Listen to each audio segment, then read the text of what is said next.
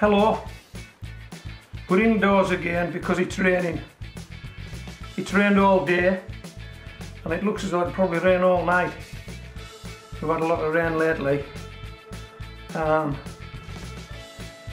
it gets dark too early, soil saturated, it's far too wet and it's just too cold to be doing anything outdoors. Certainly not uh, planting anything. Um, so I'm having to work indoors. But I've got myself some of this stuff, as you know, this uh, Rootgrow mycorrhizal fungi. Um, and what I'm going to do now is um, I'm going to apply it to some onion sets that I've already got um, sitting in a pot of compost indoors and some early potatoes that I've got sitting in three inch pots indoors. Okay, we'll do the uh, onion sets first.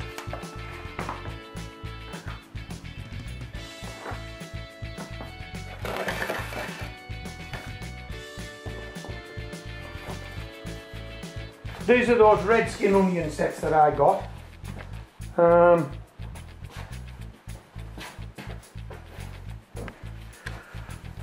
I've already made a start with these guys. Um, I've actually put some uh, mycorrhizal fungi uh, underneath these particular rows because um, you're not going to want to watch me do all that. But I've left two rows untouched between the two pieces of string, that row and that row doesn't have any mycorrhizal fungi uh, application. So we're going to do that now. So I'm just going to tease these guys out like this. I'll pop them to one side.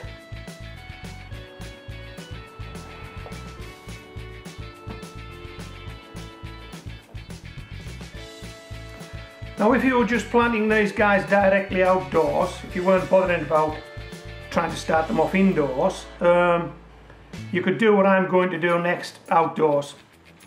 Plain and simple. Okay. Here's a mycorrhizal fungi. We'll just drizzle a bit in the bottom of all these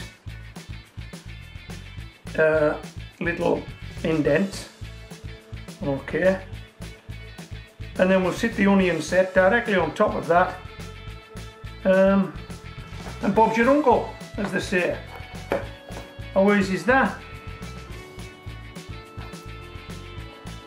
Doesn't matter if they don't go in the one they came out of, does it?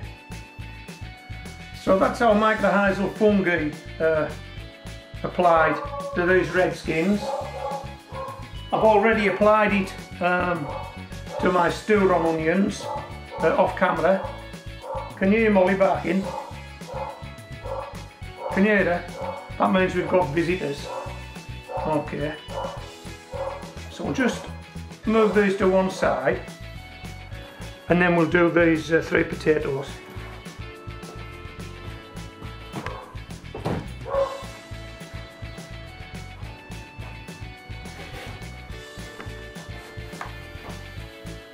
Okay, these guys are, let me think, these guys are Jazzy.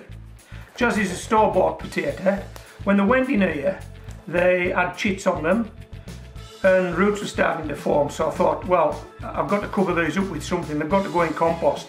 Now I'm going to grow these guys on in 10 inch pots. These are only in 3 inch pots at the moment. Um, but there's no way I could get loads and loads of 10 inch pots indoors. It just wouldn't happen. So this is an interim pot if you like. Um, and then later on in the season when the weather picks up we can start and do stuff, um, we'll move these guys on into the 10 inch pots.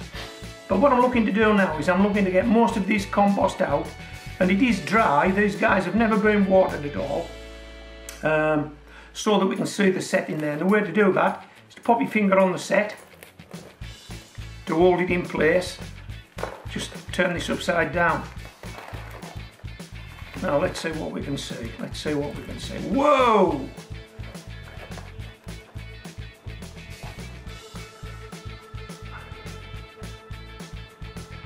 There's roots and chits everywhere, isn't there? Um, and the chits on the top have, produced roots on the top, and the chits on the side have produced roots on the side. Um, so what we're going to do is, we're just going to hold this with our finger like so and we're just going to drizzle some of this in and it'll catch on those roots on the way down and it'll also fall by the sides of the set. Hope you can see that. It's, it's lodging on those roots great. So we've actually got the uh, the fungi in direct contact with the root which is exactly where it wants to be to form that uh, symbiotic relationship. Uh, and in layman's terms symbiotic I think it means something like uh, you scratch my back and I'll scratch yours uh, it's it's mutually beneficial the root um, benefits from the association the plant benefits from the association and the fungi benefits from the association so I think that's sums up symbiotic. How's that? That didn't take long, did it? Right, so that's one done. And because it's got some mycorrhizal fungi in there, we'll put a ticket in so we don't get mixed up. Right, let's do this guy. Finger on the set so it doesn't come out. Well, look at that. and there's chits and roots everywhere. These guys are going to take off once they go in the, in the big pot. They really are. Um, I think most people will have seed potatoes on windowsills and in egg boxes and all around the place now and they will have chits on but um, perhaps not as many roots as these guys. Uh, these guys are looking to kick on. So we'll just pop a bit of this mycorrhizal fungi in there Hope you're getting it. Then we'll just bang that straight back in. How's that?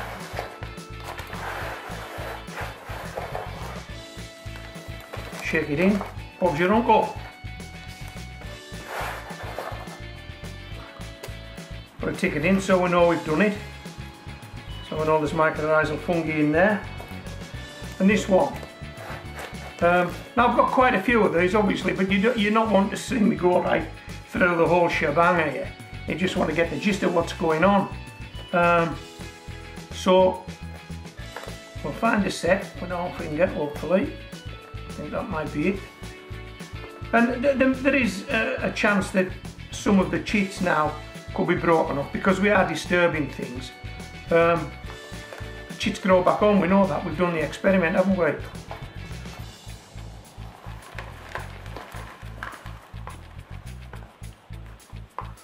Okay, look at the roots in there.